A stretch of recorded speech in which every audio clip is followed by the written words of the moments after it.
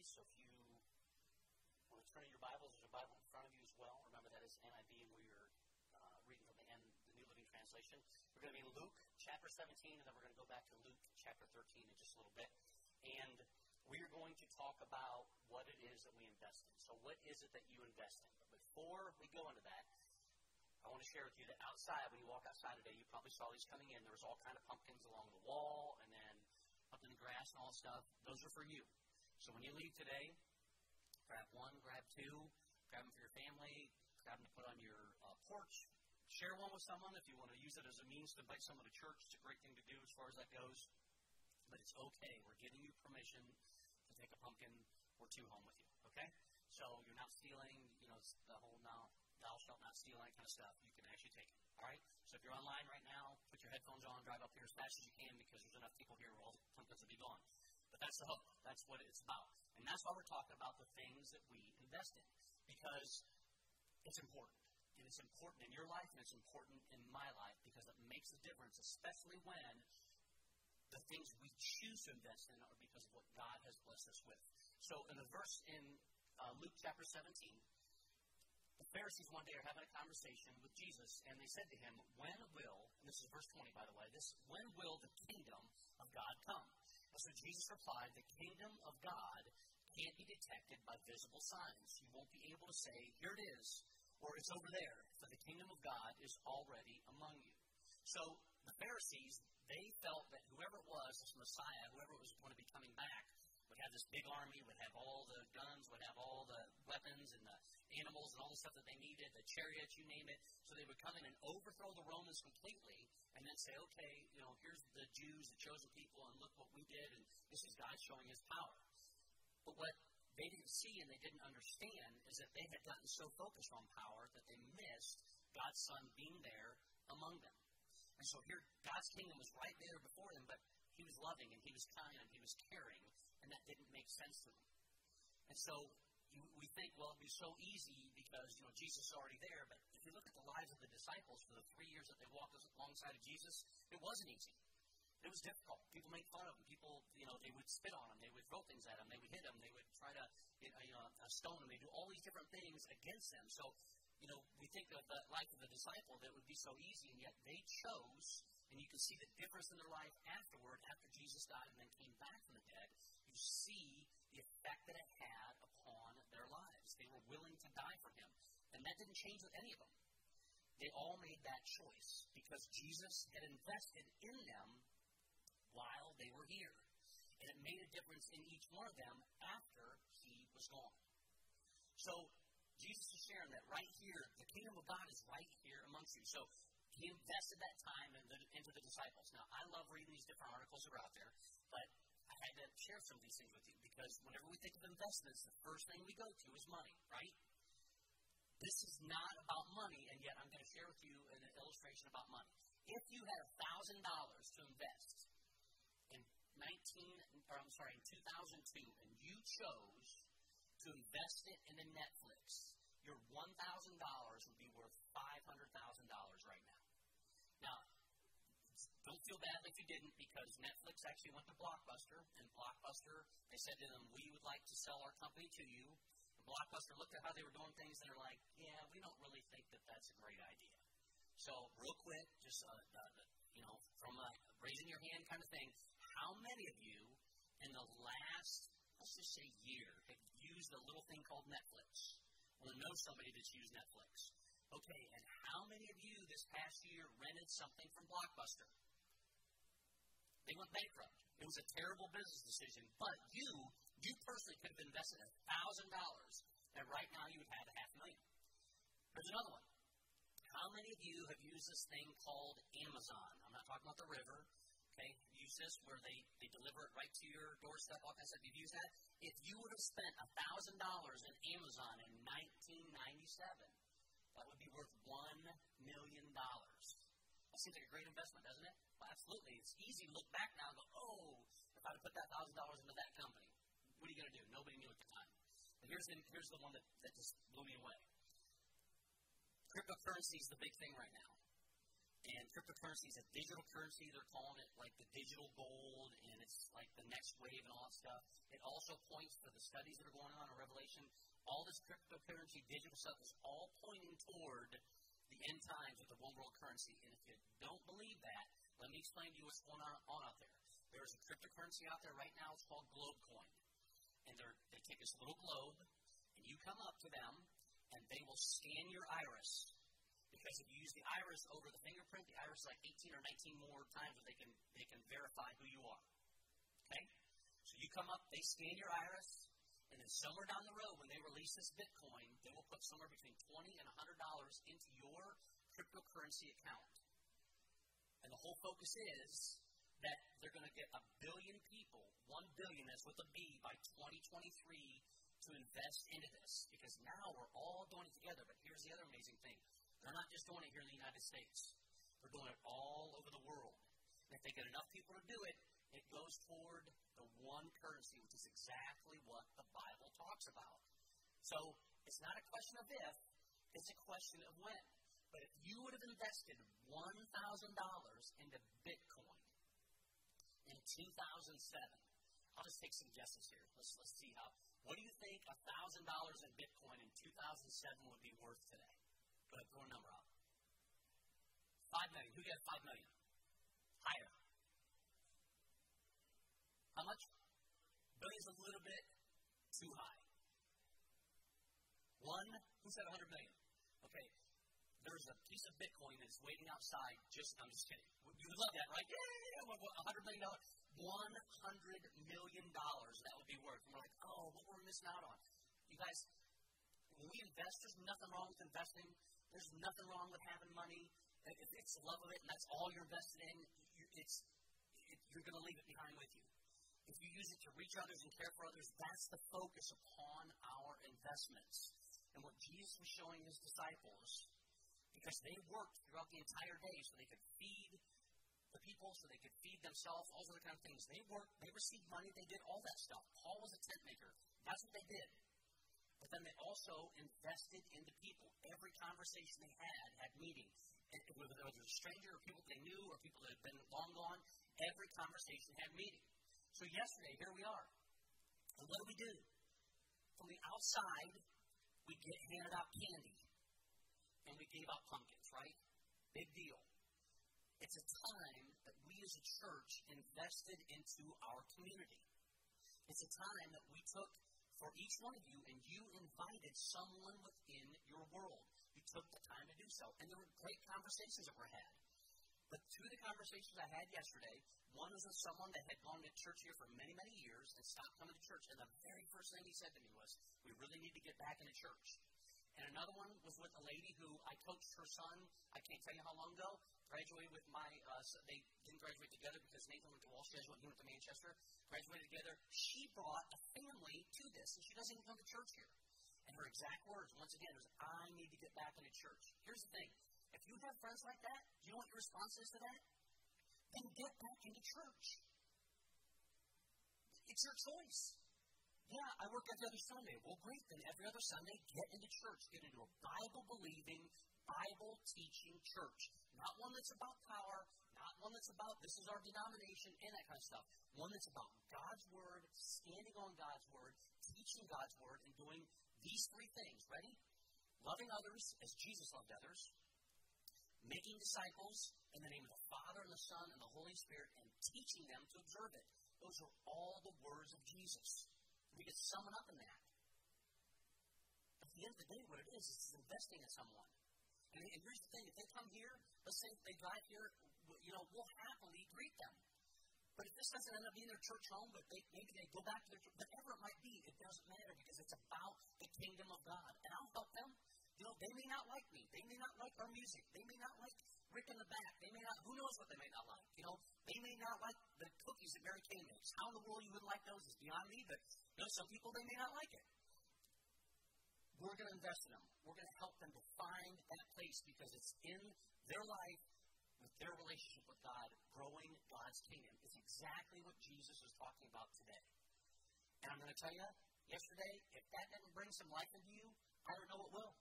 My little niece, Madison, she's one of those kids you're like, when you see her, like, oh, she's the cutest kid ever, you know, kind of thing. And she is. She's just like so cute. But she is just like, she just has a sweet, gentle heart. So before we started, her mom, Michelle, is getting everything set up, and they come over to talk to me, and she's dressed up as, I don't really know what it was, some kind of blue thing and dress and all that kind of stuff. Nothing I would wear. Probably some of you guys wouldn't wear. Some of you would. And then on the other side was her brother who dressed up as Godzilla. So I said to him, Owen, I said, Owen, be careful of Megalon. He's like, what? I go, well, Godzilla versus Megalon. It was like a big movie way back then, and I said, you got to be careful, so watch around. He knew everything about this thing. Like it was this, you know, prehistoric shark, and it had five rows of teeth, and it would bite this, blah, blah, kind of stuff. And I was like, oh, what I get myself into, kind of thing, you know. So I just listened to him. He was going all the way along. He kept telling me one fact after the next fact after the next fact after the next fact. I think he's like in second grade, first grade there somewhere. He's just a young kid. And he's like sharing all this stuff with me. And he gets done, and when he finally took a breath, little Madison says to me, I'll share my candy with you. It just changed everything. I'm like, oh my goodness, that's the sweetest thing. And then I looked over at Owen, and Owen was looking at her like this, and he's like, I'm eating all mine on my own. You know, so that's just, that's, that's how kids are. But having these conversations, what they mean. So halfway through, we get all through, and I look over, and Madison is there, and she's helping her mom and her grandma pass out the candy. And all of a sudden, she comes walking across to me, and she's like, um, Uncle John, I'm like, yeah. She's like, this is for kids. And then she holds her hand out like this, and I put my hand out, and she dropped four pieces of candy, and she goes, I think somebody put adult candy in here. And I was just like, oh my goodness, we can't have that. She's like, no, this is for kids. I'm like, okay. It was like the funniest thing ever. The funniest part about it, though, was it ended up being her grandma's candy. Which is like, she's like, I told her grandma because I had to share it. She's like, oh my goodness, she's like, that, that was my candy. We have conversations with kids, and they are so funny, and you can take those with you the rest of the day. We don't have conversations like that with, with, with adults, do we?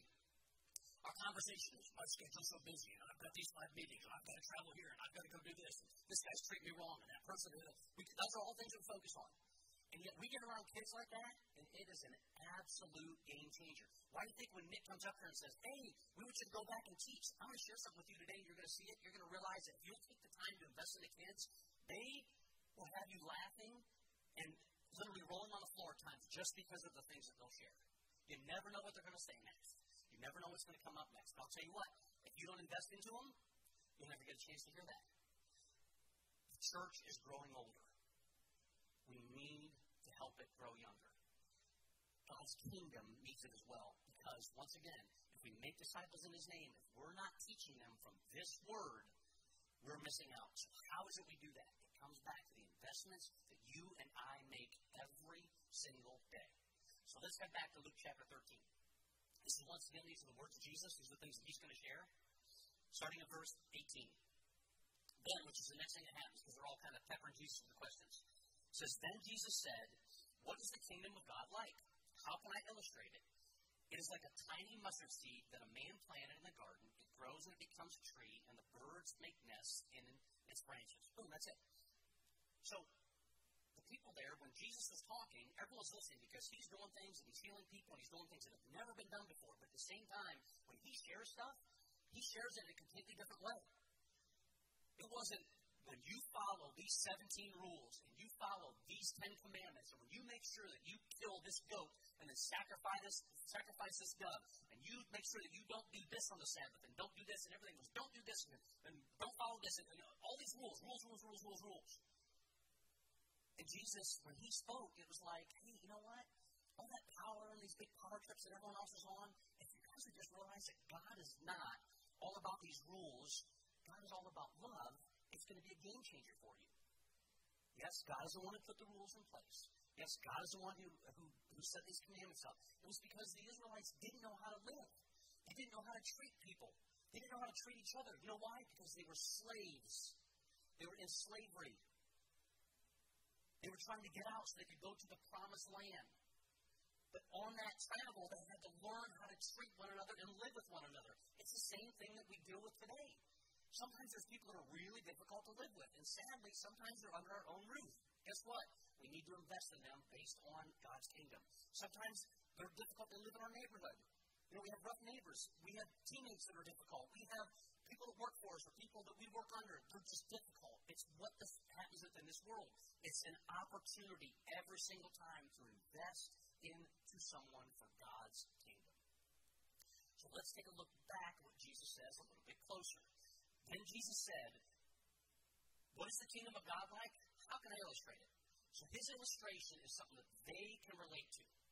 So when we started off, the illustration, we can all relate to Amazon. We've all used it. We can all relate to the Google, right? We've all used it. Some of us can relate to Bitcoin. Most of us don't really understand it. Some of us don't even care. But if you hear hundred million, you're like, oh, why didn't you just take a thousand dollars? Well, you probably didn't have a thousand dollars then, right? Why? You're putting food on the table. You're taking care of kids. You're raising a family, whatever it might be. But you can all relate to it because we've all heard everything about it. So his illustration hits home for them. He says, it is like a tiny mustard seed that a man planted in a garden. They're like, oh, okay, I get it. Don't just look at what he's illustrating, what he's talking about, the object. Notice what is happening with this guy. He says it's a tiny mustard seed. The mustard seed's like a dot that a man planted in a garden. In other words, here's the first thing. We have to be, we have to choose to invest. We have to make the, move, the, make the movements. We have to have the conversations. We have to be intentional about it. This man in the garden, he planted the seed. He just didn't throw a bunch of seeds everywhere. He took this one seed and he planted it. He made a decision. I'm going to plant this thing so that it will grow. Why else would you plant it? Why else do you think we try to plant seeds within you through God's Word so that it will grow in you, so that when you leave this church and it says you are now entering your mission field, you go to help someone else grow. It's not enough that we just soak this all in. It's not enough that we just get watered while we're here and say, yeah, that was really kind of a cool message. And I didn't realize Jesus said that. And I didn't ever really look at that illustration. We grow while we're here, but when we go, we have to go and help someone else grow. So for a lot of people, they're like, oh, we just gave out candy yesterday and just gave out pumpkins. Seeds are being planted. They come to the church on a time when it's not church time. They get around some you people and they feel like, oh, they're actually kind of normal and they're actually kind of nice. And you know what? The person that invited me is nice and the people that are around are kind of nice. You know, some of them are a little bit different, but I'm good with that because I'm different. You're planting a seed. You don't know when it's going to start to grow, which leads to the next thing. This guy chose to plant the seed. He chose to invest into this mustard seed. Think, oh, nothing will grow from that, you know, there's nothing, there's nothing in my life, there's no area, we talked about Google a little bit ago. It started in the garage. Two guys literally started, you know, and, and it wasn't like, like this huge garage, like the size of this place. It was a one car garage. They came up with this idea. And the two of them, side by side, invested into it. And it kept growing and growing and growing. When Jesus discipled his disciples, he sent them out how? Two by two. Have someone alongside of you and start the process, but you got to be intentional about it and you got to plant a seed. So he plants a seed in the garden. It grows and becomes a tree. So there's the next thing that happens. Over time, it grows and it becomes a tree. Let's not skip over this. It can't grow and become a tree until we invest into that consistently. You've got to water it. This thing out here, this, this mess of a field that we have, which is just full of weeds now, that's what happened this year. For the last four years, we grew our own pumpkins. And so we presented with our own pumpkins, so go ahead and take them. We're like, what if people steal them? Well, who cares? If it's there, maybe it'll help someone. We, we don't have any idea. We grew it. This year we couldn't. The weeds came up and took the vines, and literally we could not grow the pumpkins. That's a great picture of our world. Man, I really want to, you know, show that fruit, and I want to, you know, people see this vine and see the things that are growing off and see all those other kind of things. But at times you've got to weed. You got to weed things out. You got to weed things away. Maybe the things that we say, maybe how we treat people, maybe our, life is different we're in church is a way when it's not. We act differently when we're at work because maybe we have a business voice. That's my big thing. I have this business voice, and then I have this like normal voice. And it's something I've had to work on for years and years and years. My kids when they're growing up, I was a barker. I bark at them, and I have to learn to not do that because now when I hear one of my kids bark, I'm like, oh, what are you doing? They're like, just what you did, Dad. We have to make sure of the things that we're investing in and how we're investing into them. And it takes time. You're never going to be perfect at it, but if you're consistent, it's going to grow. And if you're going to be consistent about it, doesn't it just make sense we want to be consistent about it with God's Word? Is there anything greater from this? Or, or than this? Is there anything greater that you can invest into your wife, into your husband, into your kids, into your grandkids, into your coworkers, into people you don't even know, in sharing God's Word? There's nothing greater than it. And Jesus said that at the beginning. The kingdom of God is among us. It's in the midst of us. It's in the middle of us. And what he's sharing right here is that first you've got to take that step and you've got to plant that seed. If you're going to plant that seed, your intent then is to, for it to grow. And the only way it's going to grow is if you're consistently helping it. You're watering, you're weeding, you're spending time with it, you're spending time around it, and it will grow. How many of you have ever had a piece of Wrigley chewing gum? Ever in your life? You look at the story of Luke Wrigley, he was selling baking soda.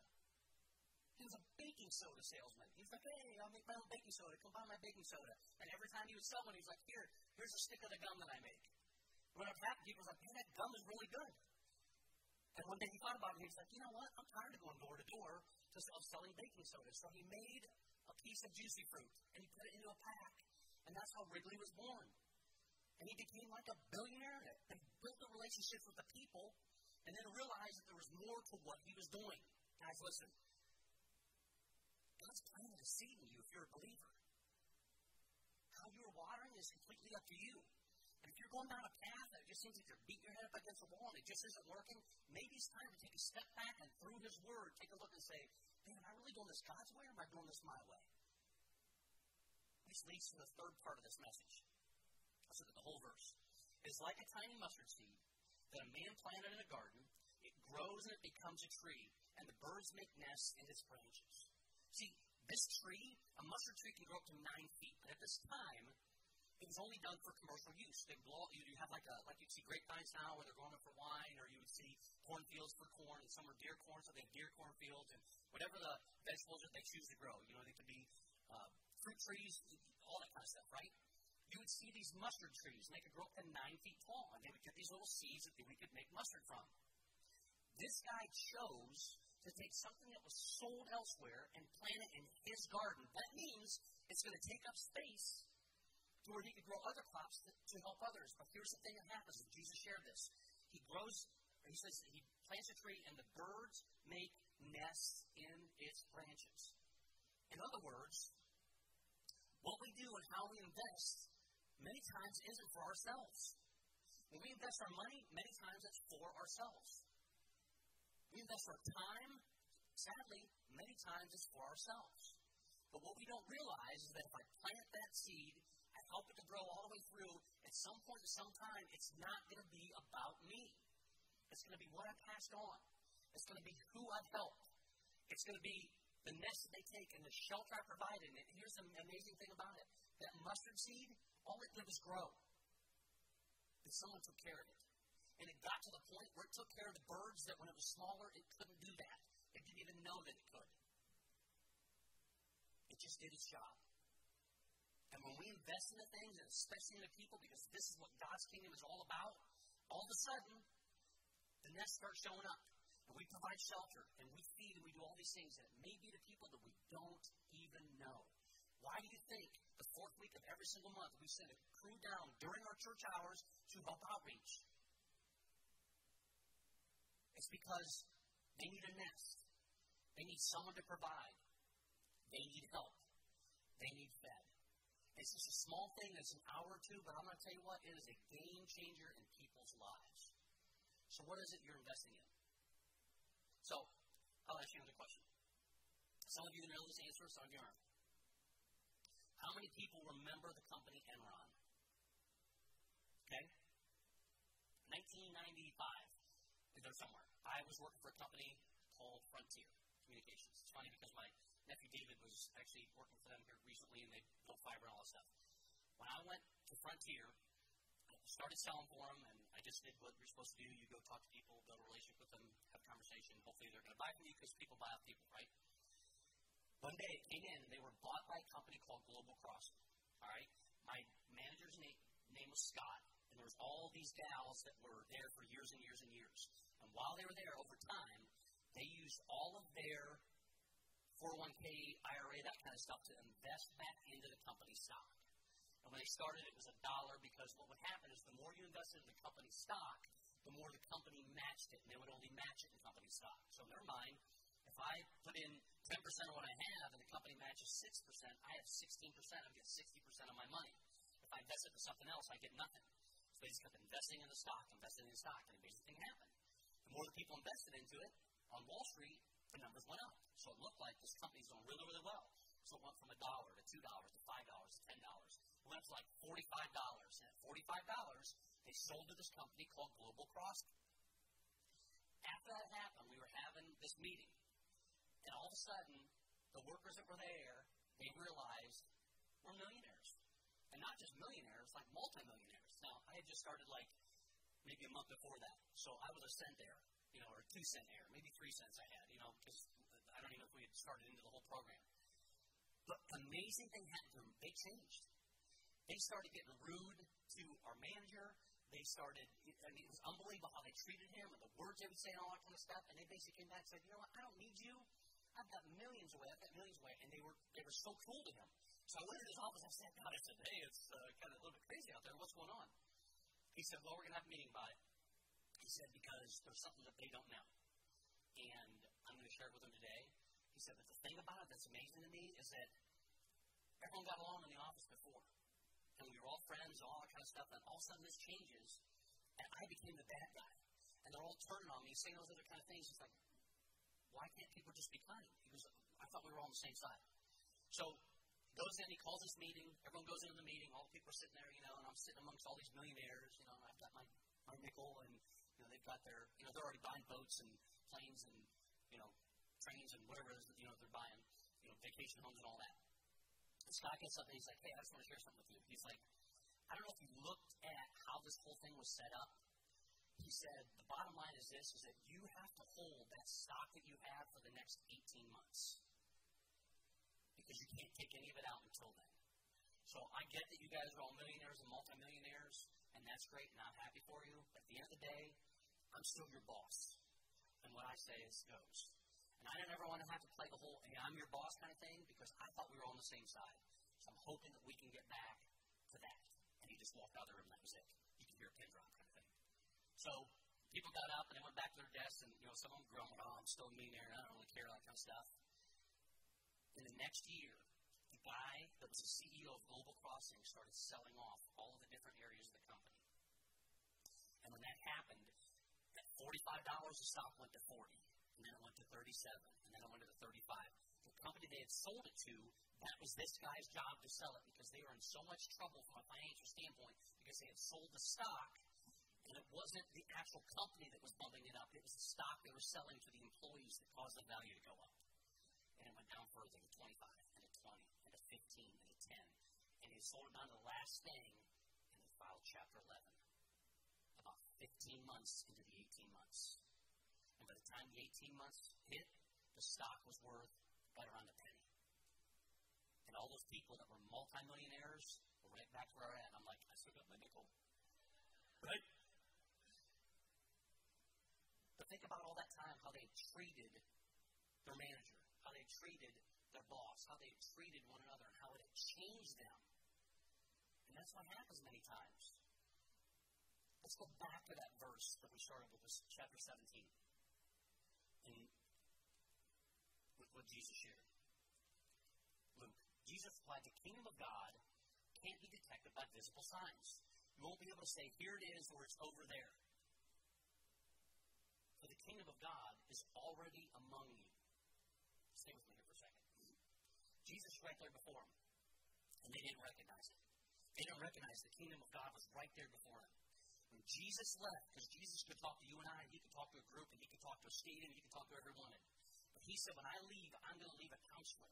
I'm going to leave a coach. I'm going to leave a mentor. I'm going to uh, uh, leave someone that, that can guide you, that can bring you wisdom. And that's the Holy Spirit. See, the Holy Spirit can go uh, amongst everyone. So when the kingdom of God is amongst you, when the kingdom of God is in the midst of you, which means it's in the middle of you, kingdom of God today is in the believers. And if you're a believer, that's where the kingdom of God is. But here's the sad thing just as Jesus said, can't be detected by visible signs. You won't be able to say, here it is, it's, or it's over there. Because so many of us are so caught up into our schedule and our busyness and all the things that are going on because we're just trying to get through the next day that we don't represent God at all. We don't show others who God is. We don't take the time to just hand out some candy and to give away some pumpkins and to have conversations with little kids who will just, it'll brighten your day. Or conversations with people that are hurting that know that they need to get back to God. this is our role. We need to be investing in every single relationship we have in our spouses, in our kids, in our grandkids, in the places that we work, in our customers, in the people that we rule over, and the people that rule over us, whatever it might be. Teammates, classmates, in every single area. Strangers, people that you meet at Walmart, people that you meet just on the road, people that are alongside the road. And it starts with one little seed that we choose to plant. And then it takes the next place of gardening and consistently doing that and getting out the weeds and consistently helping that grow. Because when it grows, you have no idea how big that's going to grow. But at some point in some time, when you consistently do that, after planting that seed, and over time, it could be a year, it could be five years, it could be seven years, it could be ten years, it may be after you've left.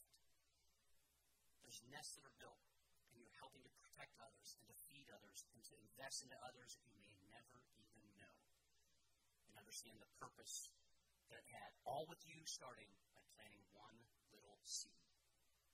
See, Enron, that company I was telling you about, if you'd invested $10,000 into it, in every company out there, man, if we do, uh, you know, a model of how you want to build a company, Enron's it. We got to go look at it. And people go down and fight on how are you doing things, all that kind of stuff. The ten thousand dollars that you would have invested into it, the number one company in the world at the time, a decade later, was worth less than ten cents because it was all a shell. It was all fictional. It was all what was on paper and what was the numbers. Just like that, it was gone. Jesus died over 2,000 years ago and rose from the dead over 2,000 years ago. He's still here. He's still here. And he said, I will send my Holy Spirit for you, in the midst of you, living right here. How you plant it, how you cultivate it, how far it grows, is completely up to you. But God is willing to be there with you every step of the way want you to think about it this week. What is it that I'm investing in? Where is it that I'm investing? Where can I plant a seed and then make a commitment to help it grow? And then wherever it grows, that other people will be able to use it for protection, for food, for shelter, for whatever it is it's going to show them God. Because this world needs it. You need it. Right where you sit, if you just bow your heads and close your eyes for a moment, Mike and Brenda are going to come up. We're going to, they're going to sing an invitation song here. One of my friends, his name is Kevin, sends out a scripture every single day to people because, because he wants to share this. He uses technology to do so. And this is the verse that he sent to me today.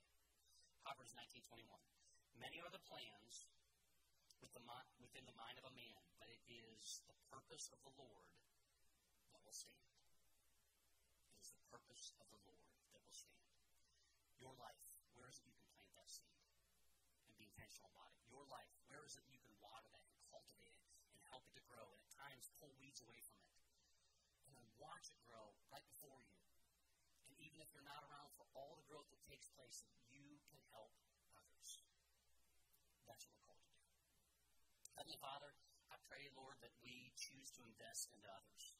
I pray that we will be intentional and start with one little seed. That could be with a child, it could be with a family member, it could be with someone within our community, it could be someone we don't even know right now. But Lord, help us to be intentional. And help us to start with one seed. Just as the gardener did, he chose that one seed to plant. And God, if we figure it out, maybe we can plant a second seed or a third seed. But throughout that time, Lord, help us to cultivate that. Help us to be very intentional according to what your word teaches us to love others as you have loved us. And Lord, in the end, as that starts to grow, God, help us to just allow it to grow. Help us to reach others, to care for others, because that's what you've done for us. God, in the end, it's all about the kingdom of God. As a believer, the kingdom of God is in the midst of each one of us. And we do that through the Holy Spirit. Help us to rest in that. Help us to help others grow. And God, help us to be confident in it in the end, just as your son Jesus shared with us, help us to trust and believe that it's possible. We love you, Lord. It's your name we pray. Amen. Go please rise. Each week we have a time of invitation. Just wherever you stand, just close your eyes and bow your heads for a moment. If you've never taken that step of faith to God. That's what it is. It's a step that we, we can answer all the questions. We can try to, you know, figure out all the mysteries, even though there's mysteries we don't understand. But at the end of the day, we can start 20 feet apart, but we can get you down to maybe a foot or two. And that last step is you, uh, it's the step that you have to take. And once again, it's the step of faith. If you've never stopped long enough to recognize God for who He is, someone that loves you so much just as you are, someone that loves you so much that when He gave, He gave everything. He gave His one and only Son for this world, for all that believe. You won't perish, you'll have everlasting life. He proved it to us. But it starts by accepting that gift first. And it doesn't matter how much you have or how much you don't have, it's still a step of faith. So if you've never stopped long enough to recognize God for who God is and to understand that He loves you just where you are, right where you are, at this moment, and you want to stop long enough to say, God, I want to reach out to you. I'm going to ask you to just put your hand up in the air to Him if you've never taken that step. If online, if you're online with us today, please just call the church this week. We'll be back and we'll talk more about what this means. It's not rocket science. rocket science, excuse me. It's a step of faith. And for those of you that are believers today, when we talked about planting that one seed, you know where you have to plant that one seed. I'm sure the Holy Spirit put that on your heart. Put it in your mind and it traveled there. Would you be intentional this week to plant that seed? Would you be intentional this week to start to water it? To weed whenever the leaves start to pop up and to hope to one day see that plant grow. And wherever it grows into, allow God to do so. But you've got to take those steps along the way. Heavenly Father, we thank you so much for the words of Jesus. God, in this simple, just two verses today, talking about mustard seed a guy planting the garden. It's amazing what we can find when we spend some time in your word. Or challenges every single day to just spend a little time, take two or three verses. When we read those verses, change us from the inside out so that we can go and help others. Or help us to plant that seed. Help us to continue to water it. And help us to know that we're doing so because it's about the kingdom of God, not of us. We love you. We thank you for your son, Jesus. It's in your name that we pray. Amen. Good morning, High Point. Um, my name is Nick, and I got a quick couple announcements for you. Uh, Miss Patty Collins, as many of you may have known already, is our new church administrative assistant. assistant. Please call her on the church phone if there's any questions, comments, or concerns. And uh, if she can't reach you, somebody at the church will get back to you as soon as possible. Um, Bible studies, Wednesday nights, um, we have a joint Bible study hosted by Mr. Don Ryan, and that's from 6.30 p.m. to 8 p.m., and I believe they're going over Revelations. Um, on Thursday nights, we have a men's and women's group, um, also at 6.30 p.m., and I believe the women are going over Revelations well, and the men are doing the missionary journeys of Paul. And uh, you can reach out to Brenda or myself with any questions or concerns about those groups. Um, let's see. We are still looking for Sunday school teachers. Um, any little bit helps, honestly. We need, uh, if you can do one weekend, that'd be great. If you can do two, you can sign up for three. If you can do a whole month, fantastic.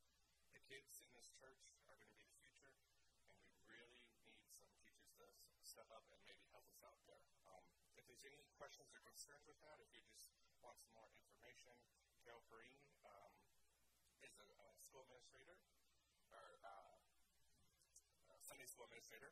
Uh, she can't be contacted. One of the Corniers can be contacted.